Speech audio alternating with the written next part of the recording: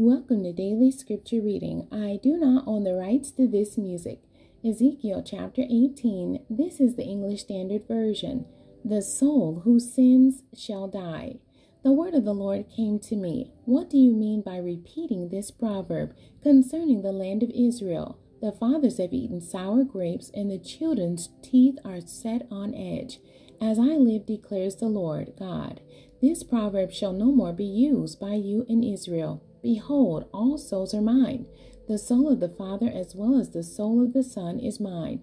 The soul who sins shall die. If a man is righteous and does what is just and right, if he does not eat upon the mountains, or lift up his eyes to the idols of the house of Israel, does not defile his neighbor's wife, or approaches a woman in her time of menstrual impurity, does not oppress anyone, but restores to the debtor his pledge, commits no robbery, gives his bread to the hungry, and covers the naked with a garment, does not lend at interest or take any profit, withholds his hand from injustice, executes true justice between man and man, walks in my statutes, and keeps my rules by acting faithfully. He is righteous. He shall surely live, declares the Lord God. If he fathers a son who is violent, a shedder of blood, who does any of these things, though he himself did none of these things, who even eats upon the mountains, defiles his neighbor's wife, oppresses the poor and needy, commits robbery, does not restore the pledge, lifts up his eyes to the idols, commits abomination, lends at interest, and takes profit, shall he then live? He shall not live. He has done all these abominations. He shall surely die his blood shall be upon himself. Now suppose this man fathers a son who sees all the sins that his father has done. He sees and does not do likewise. He does not eat upon the mountains or lift up his eyes to the idols of the house of Israel, does not defile his neighbor's wife, does not oppress anyone, exacts no pledge, commits no, no robbery, but gives his bread to the hungry and covers the naked with a garment withholds his hand from iniquity, takes no interest or profit, obeys my rules, and walks in my statutes. He shall not die for his father's iniquity, he shall surely live. As for his father, because he practiced extortion, robbed his brother, and did what is not good among his people. Behold, he shall die for his iniquity. Yet you say, Why should not the son suffer for the iniquity of the father?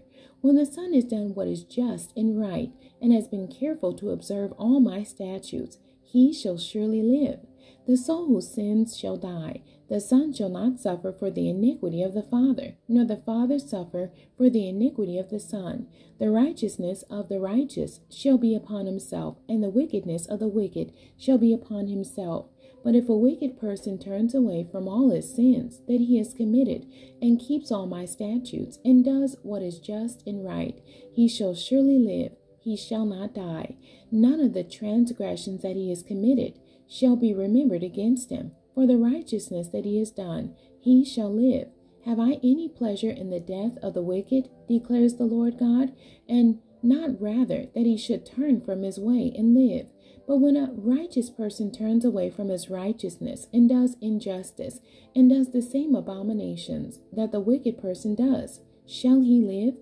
None of the righteous deeds that he has done shall be remembered, for the treachery of which he is guilty, and the sin he has committed, for them he shall die. Yet you say, The way of the Lord is not just. Hear now, O house of Israel. Is my way not just? Is it not your ways that are not just? When a righteous person turns away from his righteousness and does injustice, he shall die for it. For the injustice that he has done, he shall die. Again, when a wicked person turns away from the wickedness he has committed and does what is just and right, he shall save his life, because he is considered and turned away from all the transgressions that he committed. He shall surely live, he shall not die. Yet the house of Israel says, The way of the Lord is not just. O house of Israel, are my ways not just? Is it not your ways that are not just? Therefore I will judge you, O house of Israel, everyone according to his ways, declares the Lord God. Repent and turn from all your transgressions, lest iniquity be your ruin. Cast away from you all the transgressions that you have committed, and make yourselves a new heart and a new spirit. Why will you die? O house of Israel. For I have no pleasure in the death of anyone, declares the Lord God. So turn and live. The end. God bless you and thank you for joining me today.